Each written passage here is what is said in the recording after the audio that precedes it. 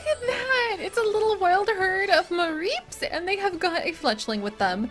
I bet that fletchling would actually spend a little bit of time trying to steal. Well, I actually, I was gonna say trying to steal some of their wool so that they could go ahead and like line a nest with it. But that might be a little bit like static electricity shocky, so maybe not. But you know, we could, we could. Ooh, ooh, Pokeball. Ooh, more Pokeballs. Wait a second.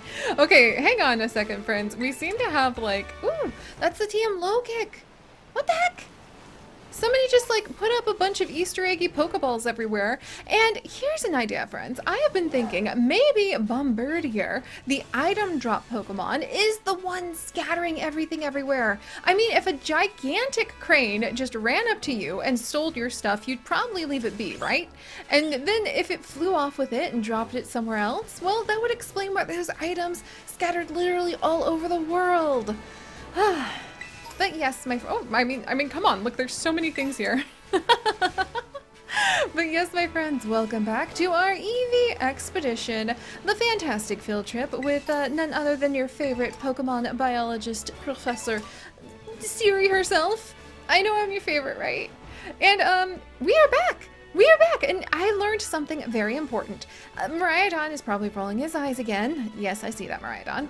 Um, but it turns out you cannot go from the Mesagoza South section up to this part of South Province 4 because it turns out that this entire cliffside just blocks everything off, probably to keep a whole bunch of the younger trainers safe and away from what might be higher level areas. But lucky for us, we already had visited South Province Area 2, and we had, uh, you know, signed up for their, their Poke Station. Huh. I just found the Pokemon League. Sorry, distractible, distractible, I know. But we signed up for their transportation system, and now we are going to carry on trying to figure out how the best way to get to... Wow! Wow! Is it the top of that mountain? Because it's really pretty. I don't think I've gone over there yet. And there's a couple Terra Pokemon in their Terra Caverns. Ooh. Ooh, I'm gonna steal this, gonna steal this. There's a couple more Terra Pokemon or Terra raid spots over there. I just want to make sure that where we're headed Okay, there's a bunch of ruins. And we kind of want to head... I think we want to head for those ruins. Okay, so I think it should be good. Right on! Thank you! Alright. Nobody was hurt. And... Ooh, Persimberry! And we can actually go ahead, pass up all of these adorable Smoliv, tag a couple of these wonderful dens. We're just going to take notes on what happens to be in here, friends. Is this an ice type Combee? Sorry. I know I said we were just gonna take notes, but how could you pass that up? Can you imagine like an ice bee? Oh, that's so cool. Able to withstand the frozen temperatures, blending together unexpected Tera types with unexpected like type types. That's just too exciting. I have to see what is going to be happening here. Oh, you glorious shiny glitter. I would name this one glitter actually. Well, maybe crystallize? Like, there's just a lot going on here. What would I name it? Combee. Oh, Combee's. I mean, I would be intimidated by a Growlithe as well, Combee, because come on. Let's be real here. Actually, I wonder, can I use U-turn? I want to see if I can swap out Pokemon. Okay, U-turn actually, actually was pretty good. That's interesting. I actually cannot go ahead and swap out with other Pokemon. See, friends, I knew that this was going to provide us with some absolutely fantastic and very important data on what we were doing. Oh, it's so pretty. On what we were doing here in this raid den. Alright, let's go ahead and catch it. I really need to get more Pokeballs. oh, I'm such a sucker for these Tera types now. I just feel like there's so much mystery behind their different types. Why is this Combee ice type? Does that mean that perhaps it only collects pollen from flowers that grow in the most remote forest up in the top of the mountains? That just, that idea is so enchanting to me. Oh, wow. I kind of want to name it Ice Bee. Oh, Ice Bee would be such a good name for it. All right, and we got some Combee honey and berries and tiny mushrooms. I really do appreciate being able to collect that many berries. I'm having a mm, more of a feeling that if I can't garden them, that's how you end up farming berries. Not that I use them. I really should get my squibbit back out. All right. Combee, the tiny bee Pokemon. The trio is together from birth. It constantly gathers nectar to please from flowers to please Vespiquen. All right, we're gonna go ahead and give it. It's a boy. Ice bee? Does that still work? I mean, I think Ice bee. Combee Ice. okay, forgive me, friends, but let's see. Icy. I don't know if that's how you actually spell like the the like horribly over sugared drink, the icy. Um, but it happens to be one of Chip's fa favorite things before we tried to give up sugar. All right, so let me see. If I jump down here to poke that fire den, and there's a Tera type Pokemon over there, can we get up? I think we can get up. Let me let me look real careful at the map. no, we wouldn't be able to. I was so glad. It, wait, wait. Okay, Okay, we could come back up and scooch around. So I have been going the wrong direction trying to use like this shortcut. What we actually need to do is come down the Mesagoza gate. I see. I see. All right, well, I'm a little curious about who's down there. And you know what, friends? This is our field trip. This is our time to really be together, to really experience what it is like working with all manner of different types of Pokemon. Uh, also, Champion, can you actually use water type attack yet? No, not yet. Champion, I think I'm gonna go ahead and let you swap off just for a second, my dear.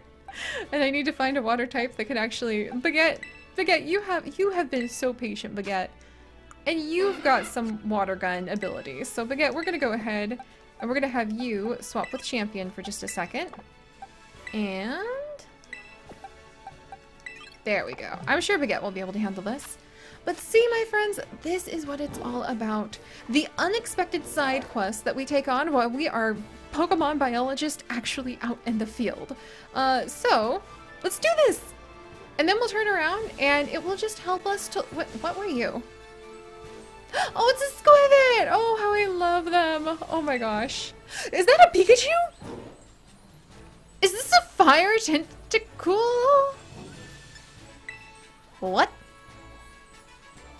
Is it? What? The only way I could imagine a Tentacool having fire ability is if it, like, could shoot, like, stinging, burning fire.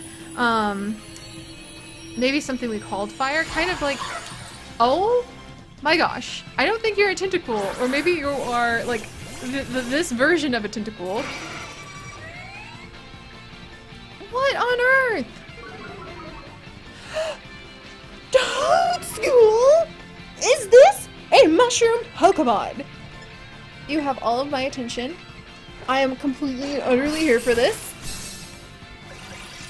Uh, it's super effective? I thought, what do you mean super effective? Water gun? Okay, now it's starting to show up. I was like, what the heck? oh no, stun spore! Hang in there, Baguette, you've got this! Ah, I don't think I can use... Oh no! So it may be unable to move. Yeah, you can't actually use any items, I don't think. I'll double check cheer next time. Oh my gosh, if this is gonna be like a mushroom type, like Pokemon, I love mushrooms. This is a fiery mushroom. That makes some amount of sense. Wouldn't it be- oh, baguette, baguette. Let's go ahead and let you terastallize, my dear. Because if this is like a like fungus can glow, and it maybe it could give off spores that when they react to oxygen can cause fires. But I wonder, oh, look at you look beautiful. I wonder if the Toedscools are actually immune to fire then. Or maybe when they release the spores, they also happen to be covered by some kind of like protective gel. You rude thing! Okay, you're definitely a part plant type, I think. Because you use Mega Drain. At least that's my guess. Alright, Baguette, you're gonna have to just do your best, my dear. This is actually a little bit of a harder battle than I thought it would be, but Baguette is also a little lower level than some of our other Pokemon. No, Baguette, you're down! Hang in there, dear. I feel like she's really struggled, so we might try to give her some like special um training because I really feel like Bonfire, our Flareon, and Cranston, our wonderful Bombirdier, actually, even though they're not certain about me, because I happen to be like the new kid on the block, I don't have any any badges that make them feel like they have a lot of comfort. Oh, there we go! With what we can accomplish. Alright, get in the little Pokeball, my friend. So even though Bonfire or Flareon and Cranston, our Bombirdier, who are both up around level 40, are double the levels of any of our other Pokemon so far. I think that they might actually respect me a little bit, but I mean, you would really want to know that the person that you were trying to bond your entire life with for forever was really going to be up to the task. I think they are both just a little nervous about, can I really trust you? Will we really be family forever? and I will prove to them that we will be family forever by growing just like they are. That makes a lot of sense. No wonder Pokemon would want you to get the badges. They are working so hard for you to try to provide some sort of, of wonderful guidance through all of the growth that they really force themselves through. So, of course, it needs to be that you're also trying to grow. That's just a way to show your respect and love for them. That makes so much sense now. Although it looks like Tentacool, Toedscool is a completely different species. Its legs may be thin, but it can run at a speed of 30 miles per hour. Oh my gosh, I really hope this guy evolves into something cool. Let's look at your, your little summary. Three different types here, ground, grass, and fire. That's kind of amazing. It is a male who knows Mega Drain, Stun Spore, Mud Slap, and Mud Shot, and it has Mycelium Might. This Pokemon will always act more slowly when using status moves, but these moves will be unimpeded by the agility of the target. Interesting. Oh, it's gentle and vain by nature. Oh, so maybe it doesn't really like battling, but it does love kind of like preening in the sun. And let's see, I mean, so it's sun, grass, and fire, sun, ground, excuse me. It is grass, ground, and fire type. So I could see it really loving to lay or sit in the sun, maybe with a lot of really beautiful plants around it, and kind of just feel like it's the prettiest thing there. I could see that happening. I bet these these Toedscools are a little bit...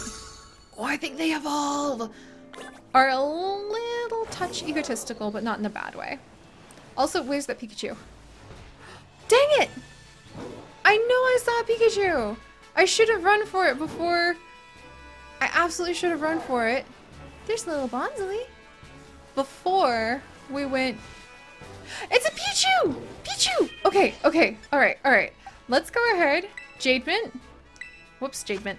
no, Jadement. Jadement. Alright, come here. We're gonna go ahead and... Actually, I wonder, could Smoliv help out with this? Alright, we're gonna swap off. Baguette, we're gonna swap you. Oh, the Pichu's coming up to me. It's coming up to me, you guys. How cute is that? But yeah, I promise that Bonfire will definitely want to show how he is a great protector of younger, smaller Pokemon. He's very, like, happy that we are Eevee, like, researchers trying to research everything about Eevee. And I bet he would even be protective of Jim, even though he would probably try to return all of the gemstones and treasures that she steals. I actually think Cranston would totally be on board with stealing some of those things uh, with Jim or even from Jim. All right, Pichu, where'd you go? Gosh darn it. Oh, wait, no, it's here. Hi. Okay, I don't want to run over you. And tap. Little tap. Oh, you're so tiny. Oh, it's oh, it's just level eight. Come on, little guy. I don't want to have to like, I don't want to have to even smack you with like a single leaf. It just wanted to come and join our family. Oh, I want to name it after like some sort of really cute, like baked food. I don't know why. It just makes me think that Pichu would appreciate being able to hang out with our other tiny mouse, like, Pokemon. Yes, we'll have to raise them together. Alright, despite this Pokemon's cute appearance, those who want to live with one should prepare to be on the receiving end of its electric jolts. Got it. No name for now, we're gonna go ahead and send you the box. Jeez! We don't even have a single badge yet. We haven't even found a single Tera Pokemon. And already, friends, we are filling out so much of our Pokedex. All right, let's go collect this item. Hey, Squivets. And then we're going to turn around. Oh, good, it's a Pokédoll. And I want to see... Who is this? Hello? Is that a... it's a Tera Meowth! I know we already have a Meowth, but I think that would be really exciting. Um... Hello, buddy. I think that you might actually be a little bit of a hard battle, but let me go ahead and try to... Alright, sorry, friends. Look, if we're going to be spending some time with an extremely glowy, shiny Meowth, oh my gosh, he's so cute. Then I want to go ahead and make sure that we're able to get some really cute pictures. Alright, ready? Oh, it's a Pikachu! Alright, Pikachu, look, I've got to go ahead and work with this Tera Meowth. I just think it's a really cool example of a Tera Pokemon. Look at those cute balloons! Wait, why balloons? That's not the normal type thing, right? Whoa, Meowth! Oh, you're so glittery because of, like, where we're at. Not very effective, not very effective, but Bite would be effective. Oh, Meowth is just little... Okay, we're not going to Terastallize. There. And we're going to try to catch Meowth from here. Hang in there, friend. I wonder if you'd have a different Tera type than the Meowth we already... It's a girl, too! Than the Meowth we already have. Being out in the field. So many new discoveries! Okay, so let's investigate her Tera type. Jim does actually have a Meowth that she's already good friends with. What is your summary, my dear? Flying! A Meowth who wants to fly! That's... that's surely not what the other Meowth had, right? Surely not. I'm pretty sure that our other Meowth does not fly. Is not a flying cat. Let's see. Where is where is our Meowth? Okay, Jim. Jim. Where has your your like buddy gone? Oh, there you are. It's Copper. Yeah, Copper is much higher level. And he's normal, normal type. He is not a flying Meowth. Oh my gosh. A cat who dreams of flying. I kind of want to name it Sophie after Howl's Moving Castle for some reason. there we go. All right, friends. You know what? I think that that was an excellent expedition into the field. Have we made it to our EV research point? No, no, not yet. But we have been able to explore another bit of meadows. I kind of want to name this meadow like something special. Oh, I need more of your guys' names for what we could name all these different areas. And then I might actually like print off a map of of our world and like name it what you guys help me really discover because I think that would be fun. You're all very creative. I know that we don't have a Pikachu, but we do have a Pichu, so I'm just going to kind of stick with that. You're all so creative and so insightful, and you know so much about the worlds that we're traveling through that I think... Hello, little dog! Okay, that would actually go under, so I actually have to turn around, sorry. sorry, little dog. That I know that you guys are going to have some wonderful suggestions. Uh, until then, though, I will try to work on actually turning this Miraidon school bus around and making it to where we're supposed to be for our next field research expedition. So if you guys could, do please leave a like for all of our delightful discoveries. And if you'd like to join us on this and literally thousands, I almost ran over a Diglett, whoops. Let's stick to the road. and literally thousands of adventures, do please consider subscribing. But most importantly, stay curious, and I'll see you guys next time. Bye-bye!